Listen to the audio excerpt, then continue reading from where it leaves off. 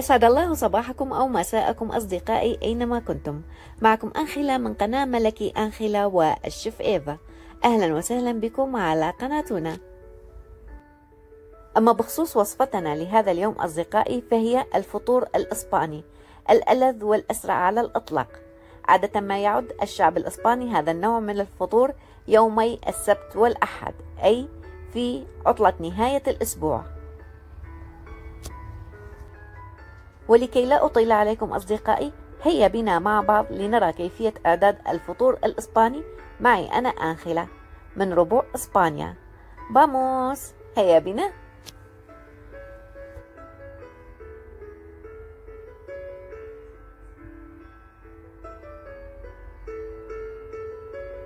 والآن إليكم مقادير وصفتنا لهذا اليوم وهي تكفي لأربعة أشخاص. سنحتاج إلى حبتين من الأوفوغادو كبيرة الحجم. أربع حبات من المشروم أي الفطر كبيرة الحجم أيضا حبتين من الطماطة كبيرة الحجم 500 جرام من السبانخ بيبي سبانخ وزيت زيتون وست فصوص من الثوم كبيرة. أما بخصوص البهارات فسنحتاج إلى الملح والفلفل الأحمر الحار والليمون. ها هي جميع مقاديرنا. آه نسيت الشيء المهم في وصفتنا لهذا اليوم. سنحتاج أيضا إلى أربع بيضات. ها هي جميع مقاديرنا.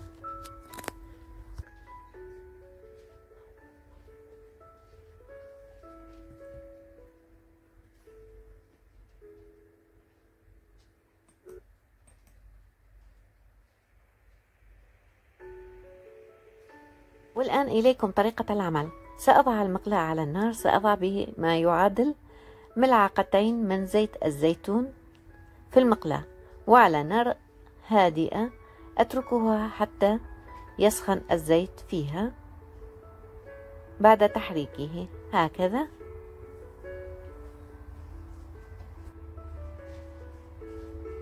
قبل إعداد هذا الفيديو أصدقائي قشرت الثوم وغسلته وها هو جاهز معنا الآن. بعد ذلك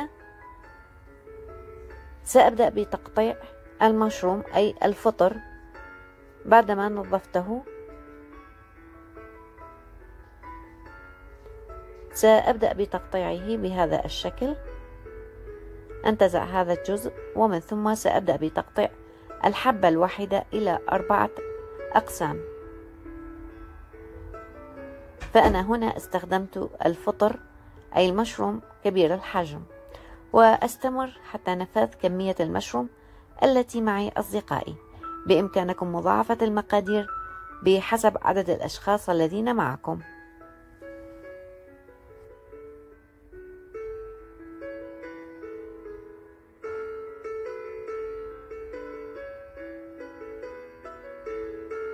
الآن وبعدما أصبح الزيت ساخنا في المقلاة سأضع فصوص الثوم. هكذا.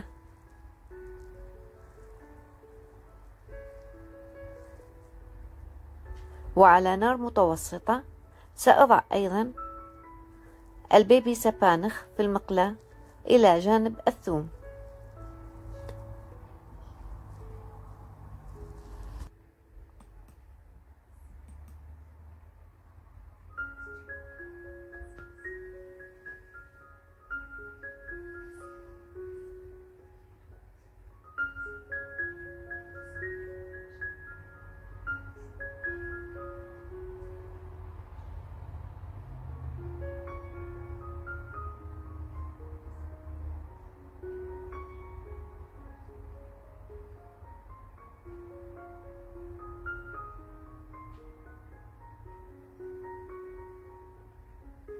أقلب السبانخ. هنا سأضعه على عدة مراحل. ها هي المرحلة الأولى. هكذا يبدو معنا السبانخ. سأرفعه من المقلاة وأضع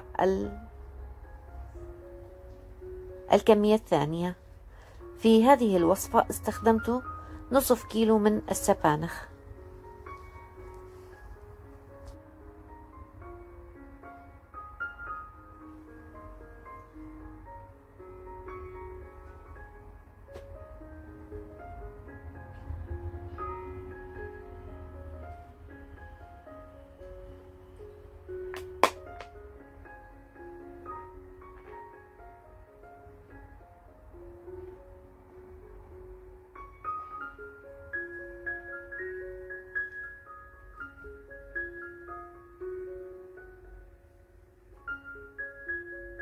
وها هي الوجبة الثانية من السبانخ وضعتها في المقلاة وسأبدأ بتقليبها ما بين الحين والآخر حتى تنضج مع زيت الزيتون. ولا ننسى أيضا تقليب الثوم.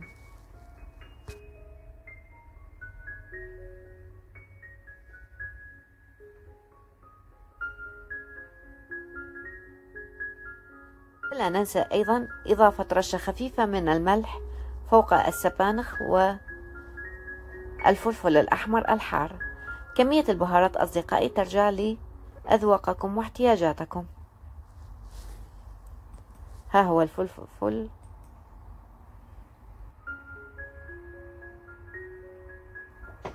وضعته بعدما وضعت الملح.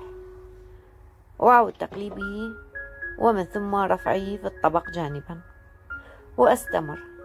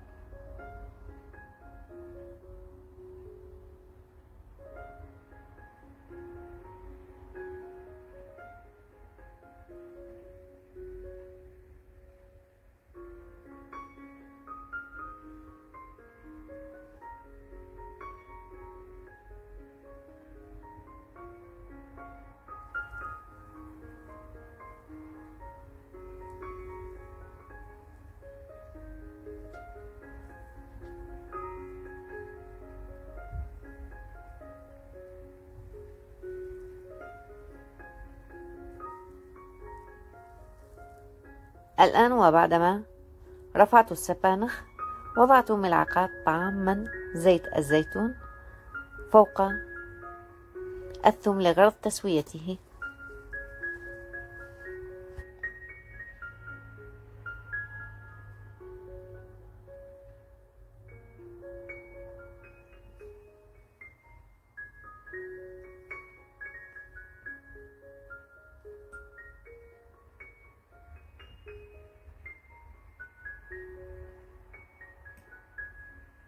بعد ذلك سأضع أيضا ملعقتين من زيت الزيتون وأنتظر حتى يسخن معنا في المقلاة. ومن ثم سأضع المشروم أي الفطر. وأبدأ بتقليبه ما بين الحين والآخر حتى ينضج معنا تماما. ومن ثم أرفعه من على النار.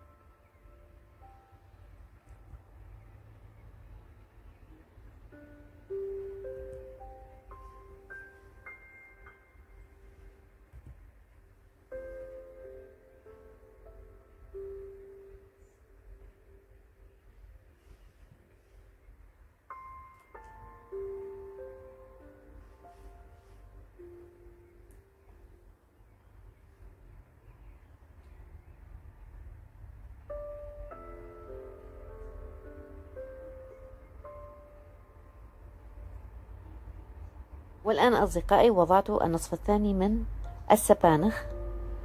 أبدأ بتقليبه مع زيت الزيتون حتى ينضج معنا تماما. وصفتنا لهذا اليوم صحية ولذيذة وشهية. يمكنكم إعدادها خلال دقائق فقط.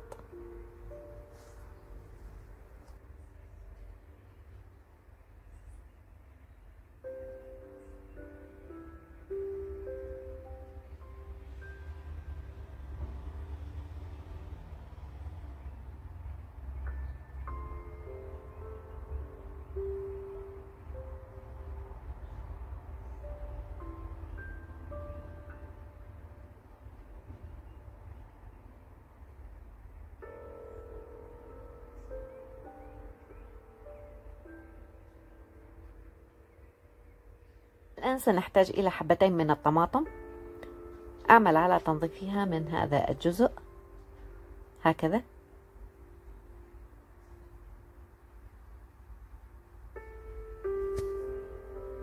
وتقطيعها إلى قسمين. وضعت المقلاة على النار. فيها بما يعادل ملعقتين من زيت الزيتون. انتظر حتى يسخن. الزيت في المقلاة ومن ثم سأضع الطماطم.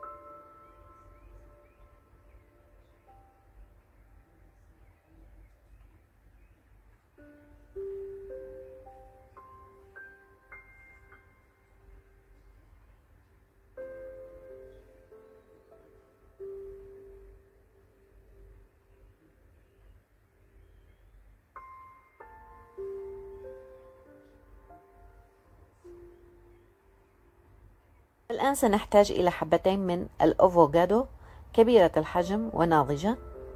أفتحها بهذا الشكل. أزيل البذرة من الداخل.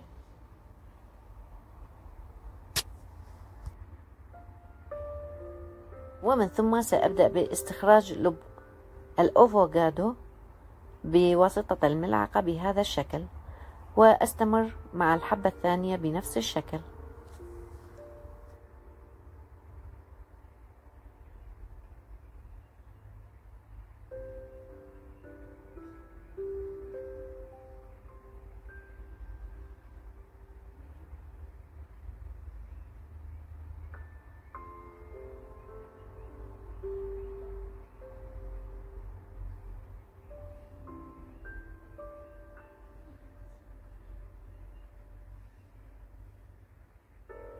سنحتاج أيضا إلى قطعتين كبيرة من الانتجرال بان أي الخبز الأسمر الطبيعي.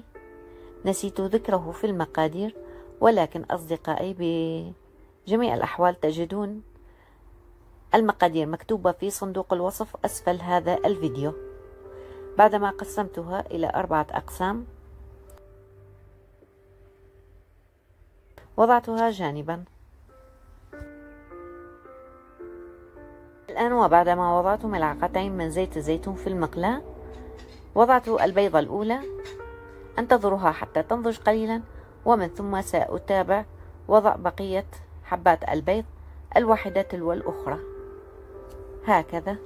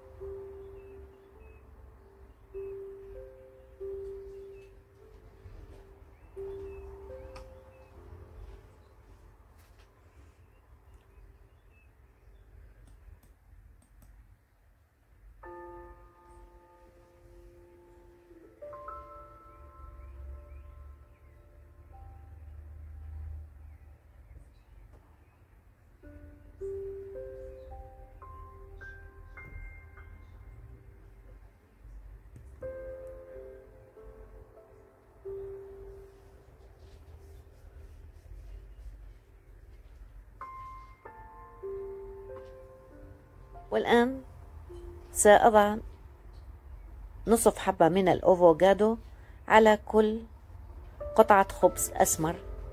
أبدأ بالضغط عليها وتوزيعها على كامل حبة الخبز ومن ثم سأضع فوقها القليل من عصير الليمون وزيت الزيتون.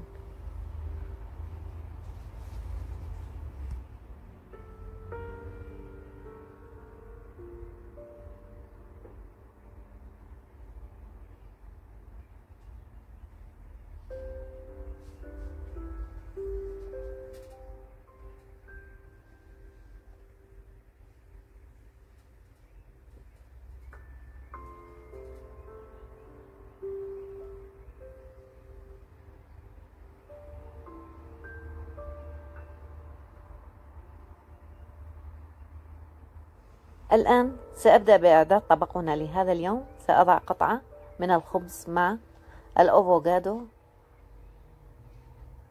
هكذا. وبعدما وضعت عليها عصير الليمون سأضع زيت الزيتون.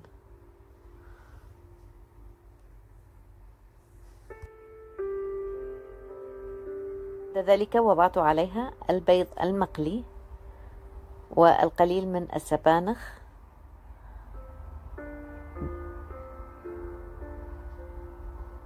هكذا.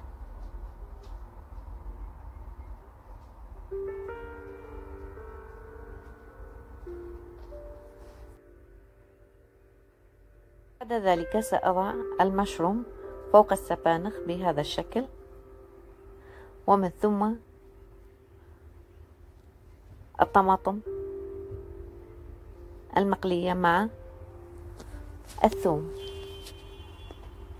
وبهذا تكون وصفتنا لهذا اليوم. قد اكتملت. أترون ما ألذها وما أجمل منظرها. بألف صحة وعافية أصدقائي.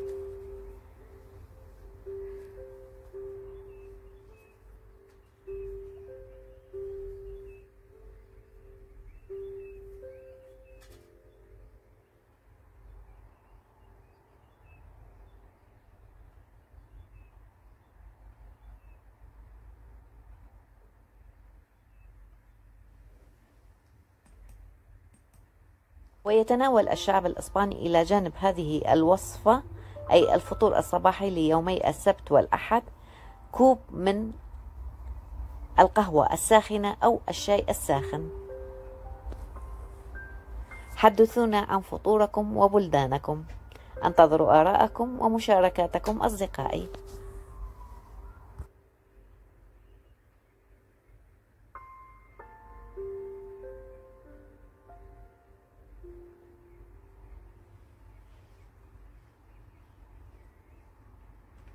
وبهذا أصدقائي تكون وصفتنا لهذا اليوم الفطور الإسباني من ربوع إسبانيا قد أصبح جاهزا للتقديم. بألف صحة وعافية. أصدقائي أتمنى أن تكون وصفتنا لهذا اليوم. قد نالت إعجابكم ورضاكم. اكتبوا لنا في التعليقات من أي بلد أنتم تتابعوننا. وما هو فطوركم المفضل؟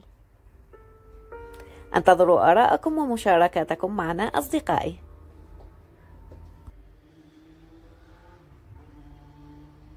أحبتي نحن بحاجة إلى تفاعلكم مع القناة. قناة ملكي أنخلة والشيف إيفا. من خلال الاشتراك بالقناة واللايك ومشاركة هذا الفيديو مع أحبتكم وأصدقائكم ليتسنى بالتالي وصوله إلى أكبر عدد من المتابعين والاستفادة منه. أحبتي لا تنسوا تفعيل جرس التنبيهات أيضا لتصل لكم جميع إشعاراتنا أولا بأول. كل الشكر لمن اشترك في القناة مؤخرا ولمن يدعمنا من خلال المتابعة والتعليقات. انتظروني بوصفات جديدة. كنت أنا معكم أنخلة من قناة ملكي أنخلة والشيف إيفا. أستودعكم الله وأحبكم كثيرا. أديوس إلى اللقاء.